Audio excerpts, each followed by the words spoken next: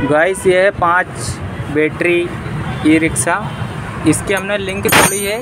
Plus, minus plus minus, plus, और ये main है अपनी। ये दोनों डोरी ठीक है?